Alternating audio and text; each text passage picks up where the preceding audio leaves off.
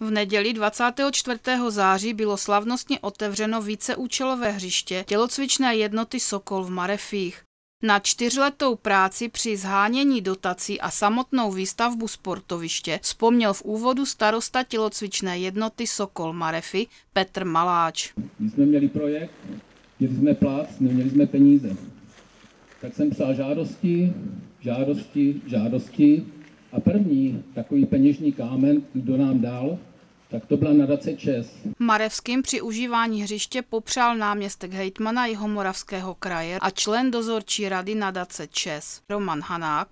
Myslím si, že byla zvolena správná cesta více zdrojového financování, protože nelze asi úplně spoléhat, že by někdo v plné výši zafinancoval nějaký projekt, ale když se poskládají peníze z města, poskládají se peníze od um, žadatele nebo od sportovců, poskládají se peníze od eh, nadace, tak můžou vznikat takovéto krásné projekty. A my eh, v nadaci ČES se snažíme tyto projekty uh, rozumnou mírou podporovat a, a já bych moc vám všem přál, aby se vám tady krásně sportovalo a hlavně, aby vám to ještě dlouho vydrželo.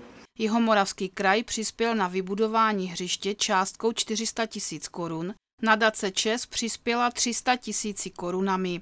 Největší částkou 550 tisíc korun přispělo město Bučovice, samotní Sokolové pak investovali do zařízení 100 tisíc.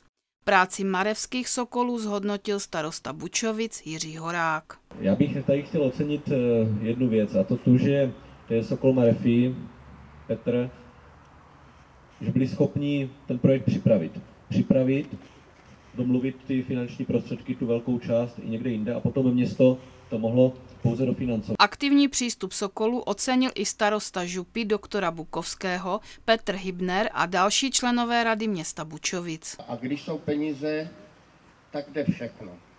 Ale sehnat ty peníze, to je ten největší úkol, za který tady poděkujte starostovi, který se nebál nikoho, běžel, zajistil, vyprosil, vydupal a vy tady máte jeho dílo za zády. Takže vám všem gratuluji a jemu nejvíc.